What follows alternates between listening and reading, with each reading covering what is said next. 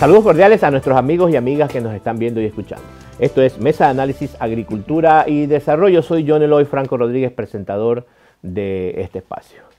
Como ya es conocido, este es un programa orientado a potenciar todo lo que tiene que ver con el desarrollo sostenible en las actividades agroproductivas, el desarrollo rural y entre otras cosas también propiciar uh, lugares y momentos para que las diferentes profesiones del quehacer agropecuario tengan eh, el diálogo, el análisis puntual. Eh, este es el caso de eh, la profesión de la medicina veterinaria. Y para el efecto hemos traído a nuestro estudio de televisión al doctor Juber Alarcón Ormaza, que ya nos ha visitado anteriormente y con quien hemos tratado muchas, muchos temas, ¿no? y sobre todo de la investigación y la edición y la producción científica. Este es momento de hablar de la educación eh, continua veterinaria. Gracias, Juber, por aceptar eh, nuestra invitación. Sabemos que estás este momento trabajando en el tema de educación continua de manera muy intensa a favor de la actividad eh, en la carrera de medicina veterinaria de la Universidad Católica. Muchas gracias, ingeniero, por la invitación. Y para tomar el tema puntual, que es educación continua, sí. estamos justamente en ese objetivo, ¿no? de mejorar y capacitar a los médicos veterinarios, sean egresados o nuevos profesionales, claro. en especialidades que demanda ahora la veterinaria moderna. Claro, eso es importante, el, mantener al profesional en una actualización eh, permanente. Es decir, que eh, constantemente él se encuentre en eventos, en espacios, conversatorios, charlas, seminarios, congresos, que le van sumando cada vez más, más conocimiento, más saberes que eh, el mundo contemporáneo pues los está, los está requiriendo. Claro, la educación continua pues, tiene sus orígenes desde el siglo XVII y Sócrates y Platón también ya promulgaban el asunto de la educación continua. Y el veterinario actual pues y en todas las carreras debe ser una actualización permanente o continua que se llama actualmente. Eh, actualizada, igualmente tiene que ser rediseñada muchas veces y igualmente tiene que ser orientada hacia un objetivo, porque no solamente ah, es, tiene que ser de, una dirección, una bidirección, en la sociedad y el veterinario como tal. Claro, o sea que permanentemente los gestores de educación continua, como en tu caso, tú que estás trabajando para la Universidad Católica, eh, identifica oportunidades y tendencias que hay en el entorno y que se llevan hacia la academia como insumos para la gestión de los programas. Claro, el veterinario actualmente pues ya hay especialidades que se están creando o se están desarrollando. Correcto. Y algunos veterinarios especialistas en diferentes áreas como cardiología o dermatología. Pero hay muchísimos que salimos sin especialidad, ¿no? Siempre ah, hacemos casi de todo. Pero justamente esta educación continua, que debe ser permanente, valga la redundancia, es importante detectar ¿no? cuáles son esas carencias que tiene la carrera como tal, que la carrera no le, no, le pudo, no le pudo dar porque justamente no es para explicar de todo, ¿no? Ya, claro. a veces, inclusive hasta con los ajustes eh, curriculares, los tiempos se, han ido reduciendo paulatinamente. Claro, entonces va quedando algunos espacios ahí vacíos que hay que llenar. Entonces la educación continua en ese aspecto pues tiene que ser un diagnóstico ¿no? de la carrera como tal Muy bien. y del profesional que está saliendo, qué es lo que necesita. Se necesita más clínica, necesita más cirugía, necesita más métodos de diagnóstico o necesita más enfoques epidemiológicos de enfermedades basados en las epidemias y pandemias que se presentan. Claro, eh, la evidencia muy clara la hemos estado eh, teniendo estos eh, dos, tres últimos años, cuando hemos eh, salido ya del, tema, del tema COVID, pero que se avisoran otras, otras situaciones para las cuales tenemos que también prepararnos. Sí, hay que estar preparado frente a estas enfermedades emergentes y remergentes, que es algo que se habla mucho ahora, y igualmente con, hemos conversado también con este enfoque una sola salud, Claro. Multidisciplinario, interdisciplinario, en el cual muchas especialidades deben intervenir. A veces el veterinario no es tomado en cuenta en muchos aspectos epidemiológicos de las cadenas de la enfermedad. Entonces, y justamente, ya que mencionas eso, eh, si, si se hubiese considerado integrar a, la profesión veterinaria para iniciar la lucha contra, contra COVID, eh, y bueno, y casi que todas las profesiones agropecuarias, en donde la bioseguridad para nosotros fue la materia del kindergarten, eh, digámoslo así. Eh, eso pues hubiese tenido pues una prontitud de, solución, porque estamos acostumbrados a la, bioseguridad, ¿no?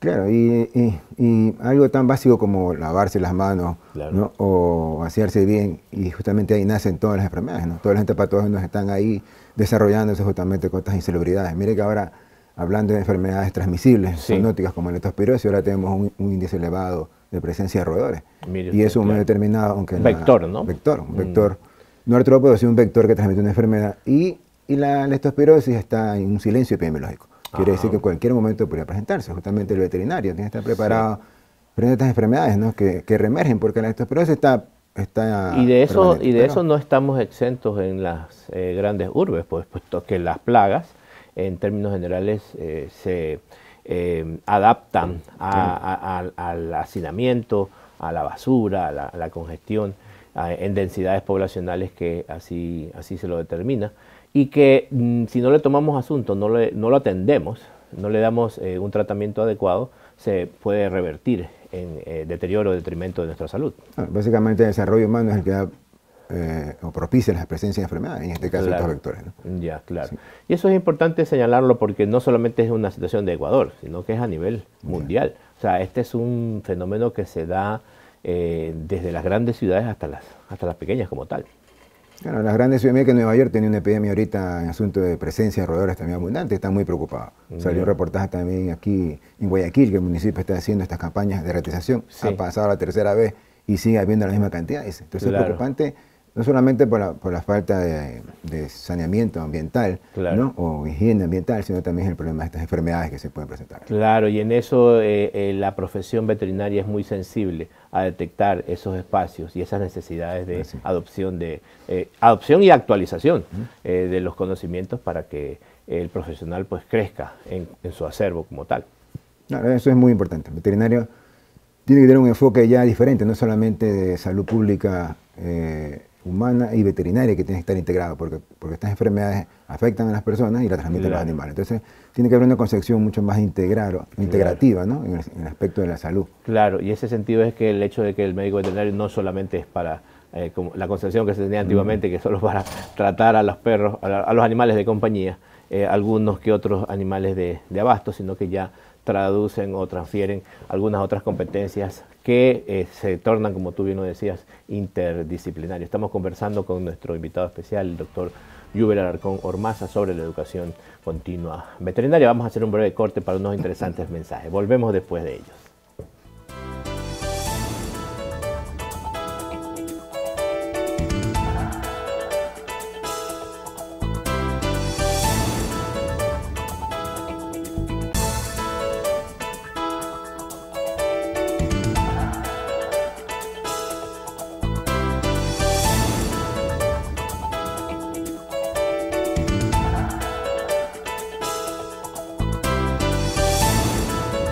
Gracias por seguir en nuestra sintonía. Seguimos con más de Mesa Análisis, Agricultura y Desarrollo. Hoy conversando con nuestro invitado especial, el doctor Yuvel Arcón Ormaza, médico veterinario zootecnista, profesor, investigador de la Universidad Católica de Santiago de Guayaquil en la carrera de Medicina Veterinaria y específicamente hoy tratando el tema de la educación continua en la veterinaria. En este tema, uh, la Universidad Católica tiene una oferta que ya desde hace algún tiempo viene ejecutando. Tú eres el gestor de eh, estos cursos que eh, eh, ya la universidad ha editado y de otros a los cuales se encuentra en proceso de oferta y de diseño futuro.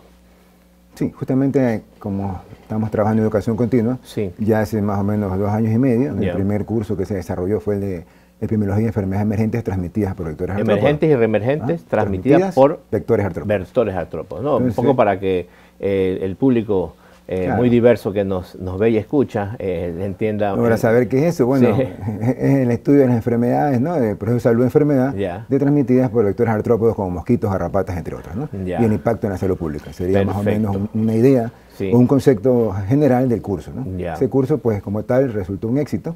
Y, ya, y ahora estamos haciendo, basado justamente en la oferta, en la tendencia que hay en la veterinaria, hemos cambiado un poco ya el tema a otro tema de suma actualidad, que es la miopatía y el comportamiento de los animales. ¿Podría explicarnos un poco más el detalle? entonces, la miopatía veterinaria, pues nace ya hace más de dos siglos en la época de Hahnemann, que justamente se basa en la ley de las similitudes. Lo similar con lo similar, una sustancia que produce una enfermedad, la misma se la, se la aplica al humano a los animales en dosis mínima. O sea, que quiere decir que nosotros tomando eh, ya eh, acción y práctica en humanos, eh, mm, traspolamos ciertos elementos, sustancias y tratamientos terapéuticos y demás ahora a nuestros animales.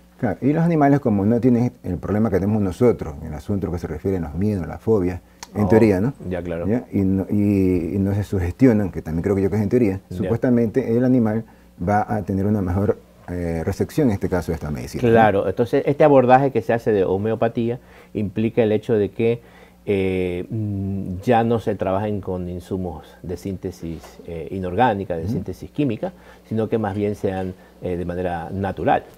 Claro, son sustancias minerales vegetales que se hacen diluciones en alcohol o en agua, llegan a unas cantidades mínimas infinitesimales. Ah, Entonces quiere decir que este tratamiento no produce una reacción, pero sí puede haber, como toda medicina, en este caso homeopática, este, una reacción alérgica tóxica muy mínima. No significa que esté exenta de algún tipo de reacción, pero básicamente como es natural, este, trae un mínimo de reacción. Y este curso está en proceso de, eh, digamos así, promoción este momento, ¿no? Más o menos para cuándo se tiene previsto arrancar. Sí, el curso está ahorita promocionándose estará para marzo. Ahí también hay que complementar la parte del comportamiento animal, que no lo topo ahorita, porque es homeopatía y eh, ah, son, dos temáticas complementarias una a la otra, ¿no? Complementarias y aparte de que están de actualidad ahorita. Hay muchos ah, veterinarios que hace más de 10 años, incluyendo que yo no soy homeópata, pero hemos utilizado la medicina homeopática con la alopática. y hay otros que ya están especializados veterinarios en medicina homeopática. y de etología que está en desarrollo, tenemos una doctora nosotros acá en la facultad que desarrolla la etología clínica en los animales, en la cual nosotros entonces veremos patrones de conducta, comportamiento en los animales. Claro la postura en los animales, vocalización de los animales, que, que nos detectan o denotan algún, algún signo de enfermedad. la, la, inadecuada cultura que desarrollamos de humanizar a los, a los animales, ¿no? Claro, si nosotros humanizamos animales, así, es verdad, tiene mucha razón. Es algo que no debería Y a veces adoptan actitudes, eh, cuando van a la clínica, dice, la mascota mía, ustedes se, lo mm. detectan, ¿no? Mm. Se parece mucho al comportamiento de la persona que lo lleva. Ah, caramba. Suele, porque conviven tanto que al final termina apareciendo. Él, él, aprende, un poco si es, el comportamiento. Si es irritable y nervioso, a lo mejor te irritable y nervioso. Ah, entonces a veces ha sucedido eso. ¿no? Pero entonces este curso que lo estamos desarrollando y está en fase de promoción justamente en la Universidad Católica, Educación Continua de la Universidad Católica, estamos trabajando en ello y ya se está promocionando para que posiblemente en marzo ya empiece. ¿Y qué profesionales están eh, colaborando, contribuyendo con su acervo profesional en este, en este evento? Ya, pues entonces ahí tenemos a los a la doctora Fabiola Chonillo, que va a encargarse de la miopatía veterinaria, en lo que se refiere a homeopatía unicista, que es la que se basa en las leyes fundamentales de la homeopatía, que hablaba en su momento de la similitud, el poder de la acción, acción-reacción, el asunto de la dosis, dosis mínimas que se utilizan, claro, muy bien. Y, y, la parte de etología y comportamiento animal está a cargo de la doctora Fabiola Jiménez, también, que es la etóloga, etóloga acá trabaja en la Universidad Católica, que es docente nuestra. Claro. Y aparte tenemos tres profesores, dos profesores invitados. Que es el doctor Luis Chalén, que es un homeópata de reconocida trayectoria, y asesor de, una, de Guna, que es una empresa farmacéutica homeópata de hace más de 20 ah, años. Muy bien, Y está la doctora Betty Cabrera, que es experta en terapia neural. Ah, Entonces vamos a hacer una combinación entre la homeopatía unicista, que es la que maneja más la doctora Fabiola, y la integrativa, que es la que maneja más el doctor Luis Chalén. Ah, lo que se refiere a la doctora Betty Cabrera, que ella ha hecho muchos cursos y tiene la especialidad también en homeopatía, Muy bien. más está desarrollada ella en el tema que ella maneja excelente, que es la terapia neural. Esta oferta eh, innovadora que hace la Universidad Católica eh, da la pauta muy clara de que es una universidad que se mantiene permanentemente a la vanguardia, en este caso pues de la medicina veterinaria. Claro, tratamos desde acá de la coordinación y justamente con el apoyo de, de, Canato y Rectorado, tratar de brindar eh, oportunidades nuevas a los veterinarios en, la demanda actual que existe del conocimiento. Claro. Claro que nosotros veterinarios, digo por mí, no quieres clínica y cirugía general, pero hay que buscar otras especialidades. Que Justamente eso es importante y es la temática de nuestro tercer y último bloque, al cual vamos luego de unos interesantes mensajes. Sigan en nuestra sintonía.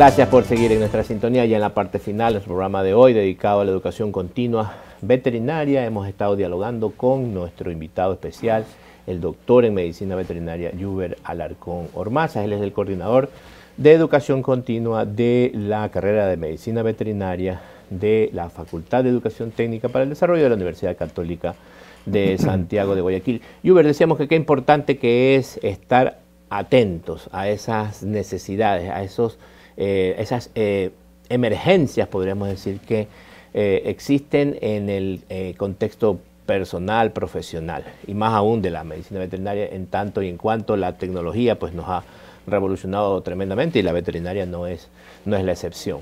¿Hacia dónde vamos con esa medicina veterinaria contemporánea? Y entonces, de la medicina veterinaria tradicional, ¿no? Que, todo parte de una buena anamnesis, interrogatorio, historia clínica. Exactamente. Para nosotros aterrizar ya en métodos diagnósticos más avanzados, ¿cierto? Tenemos a la mano lo que conocemos, diagnóstico laboratorio, análisis clínico, radiografías, ecografía, pero ahora hay tercera dimensión, ¿no es cierto? Sí. Tenemos que estas mismas ecografías de tercera dimensión a través de mapas de calor, también se ve la presencia de tumores o masa. Los diagnósticos a través de software veterinarios para detectar eh, y poder diferenciar este, patológicamente y, anatómicamente también la presencia de, enfermedades en los animales. Muy bien. Y igualmente en lo que es el manejo de la clínica como tal, que ya tiene que manejarse de una manera más automatizada en el sentido del manejo de la información, tanto del paciente, en su diagnóstico, igualmente en lo que se refiere también a, las medicinas que va a aplicar. Y en eso la tecnología pues nos da un soporte fantástico, porque lo que tenemos ahora es más elementos para tomar la decisión. Claro, lógicamente no hay que olvidarse, que es lo que es mi opinión muy personal, que la medicina nace de un buen ojo clínico.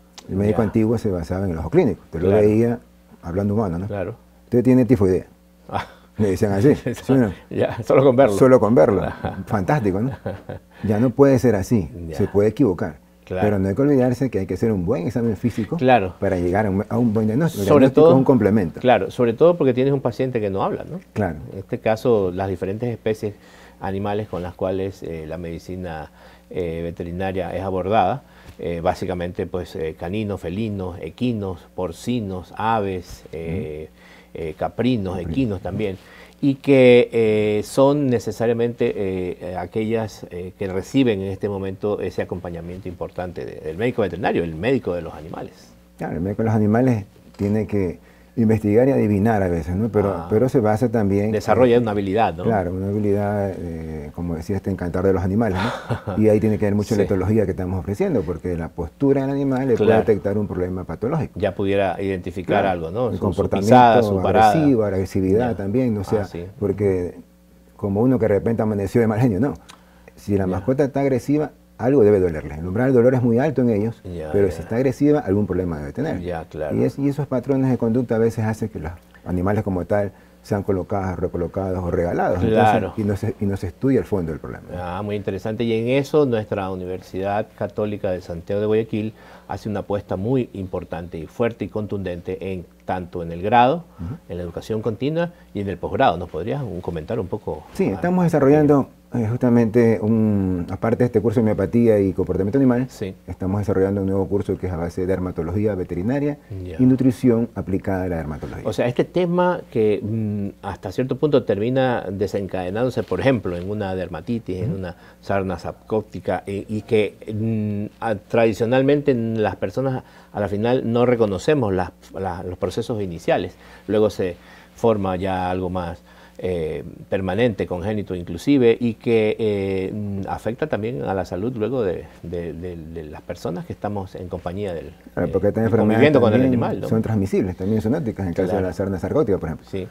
Y también las, dermatomicosis. Ya. afectan también a las personas. Entonces, la persona que está en contacto, el propietario, con la mascota como tal, también tiene que tener medidas de higiene y desinfección de la misma persona, ¿cierto? Y el entorno del ambiente. Así como cuando nos decían, bueno, vamos a tomar para los parásitos, y toda la familia tomaba, inclusive ahora también los animales de compañía. Claro, si animales parasitados también tiene que tomar toda la familia, sobre todo el niño que está en contacto con él. Ahora, claro, permanentemente. En esa parte de la oferta de grado que usted bien dice, en la parte de educación continua estamos trabajando y desarrollando esa nueva propuesta. Claro.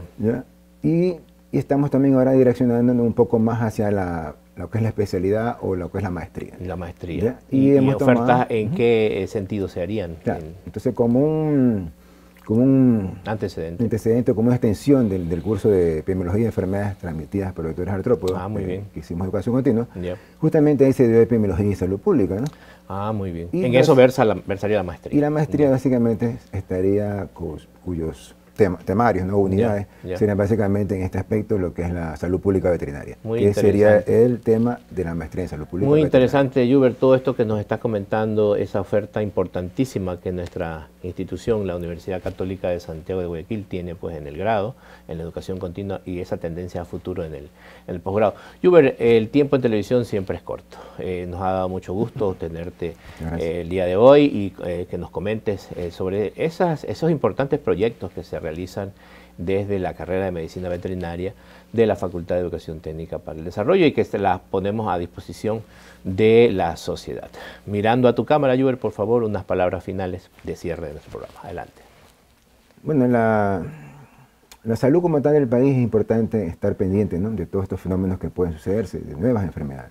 El veterinario como tal debe estar preparado para estos retos nuevos ¿no? y, y al mismo tiempo estarse capacitando, lo que hemos estado hablando, eh, todos los días. Aprender a aprender se dice, ¿no? Y uno tiene que reacomodarse y tiene que readaptarse a los cambios. Y por, ende uno tiene que estar en capacitación continua justamente frente a estos problemas de salud pública y salud pública humana y veterinaria que se están presentando en la actualidad.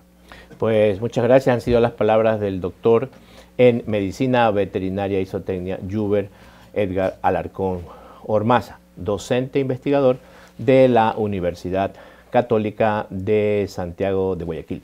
Gracias también a ustedes por esos me gusta en las redes sociales, esas llamadas telefónicas y correos electrónicos que llegan hasta nuestro departamento de producción. No olviden también que están ya abiertas las inscripciones para todas las carreras de la Facultad de Educación Técnica para el Desarrollo en las especialidades agropecuarias, veterinarias, electricidad, telecomunicaciones, electrónica y automatización. Soy John Eloy Franco Rodríguez y esto ha sido Mesa de Análisis, Agricultura y Desarrollo. Que estén muy bien. Muchas gracias.